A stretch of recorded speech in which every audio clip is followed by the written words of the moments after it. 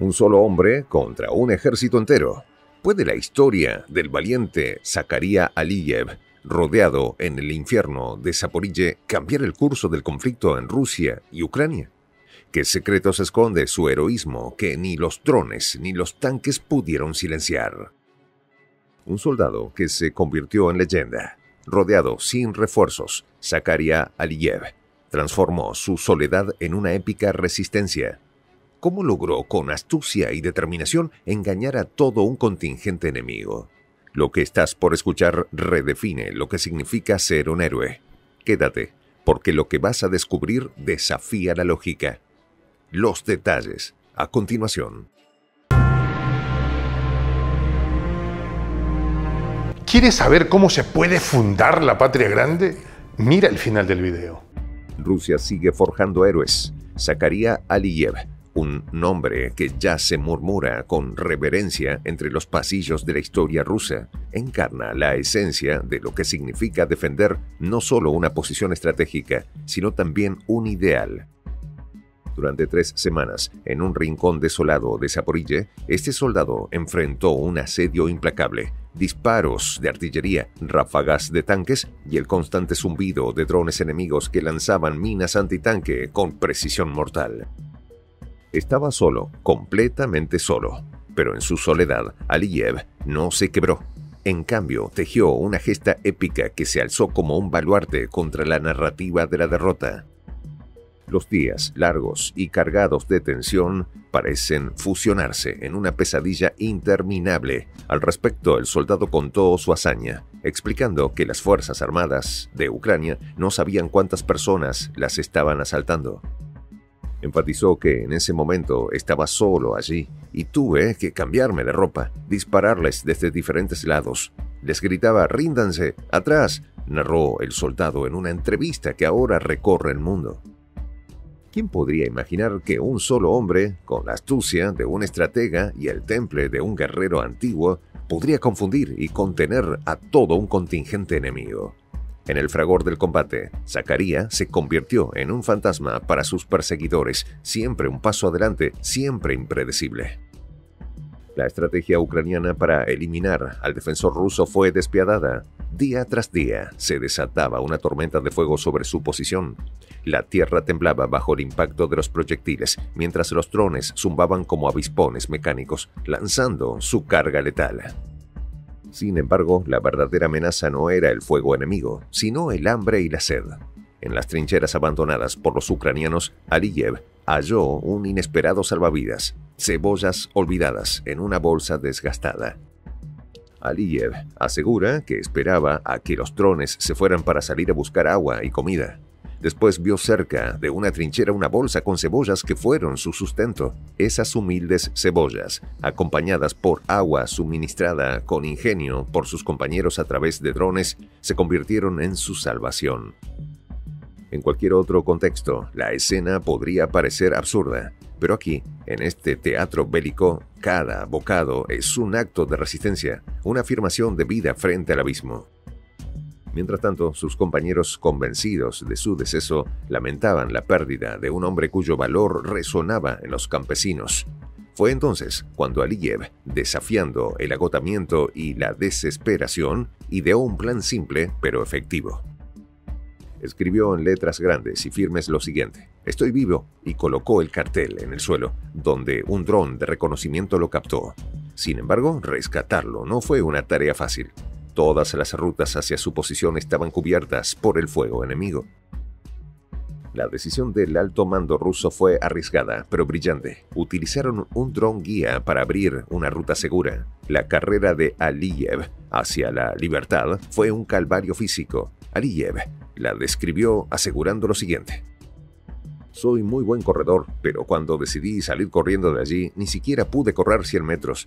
Ya no podía caminar, me dolían las piernas, me caía y me levantaba, me caía y me levantaba, recordó. Cada paso fue una batalla contra su propio cuerpo, al límite de sus fuerzas, pero finalmente logró llevar a territorio amigo. Aliyev ya se encuentra en un hospital recuperándose de un agotamiento extremo. Su historia ha encendido un fervor patriótico en Rusia Sergei Melikov, jefe de la República Rusa de Dagestán, expresó personalmente su gratitud a la familia de Zakaria, asegurando lo siguiente: Muchas gracias, todo el país ya conoce la hazaña de Zakaria. Y probablemente estas hazañas nacen en la familia, y en la familia siempre es la madre quien nutre al niño con hazañas. Su madre, Karisat Aliyeva, se mantuvo firme en su fe, incluso cuando cuatro veces le notificaron erróneamente el fallecimiento de su hijo, pero la misma aseguró que su corazón le aseguraba que estaba vivo. Mientras Aliyev se recupera como un héroe celebrado, el panorama para Ucrania bajo el liderazgo de Zelensky es sombrío.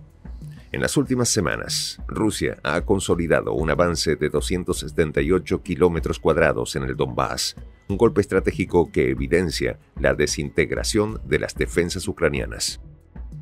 Los intentos de Zelensky por obtener misiles Tomahawk de Estados Unidos se ha topado con la negativa de Biden, quien teme una escalada irreversible con Moscú.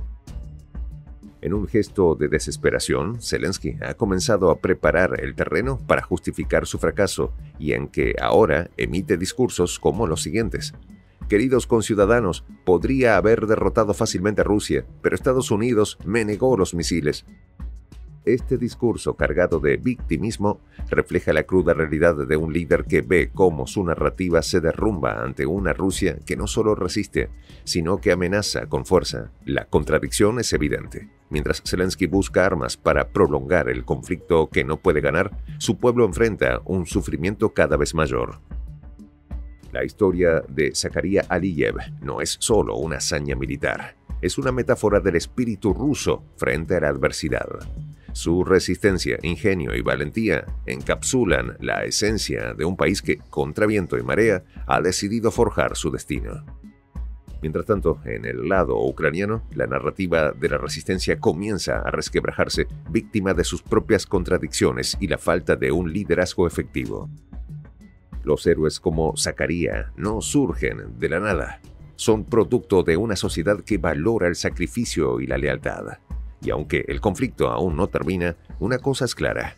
En cada trinchera, con cada colina y en cada campo de batalla, Rusia sigue escribiendo su historia con la sangre y el coraje de sus hijos.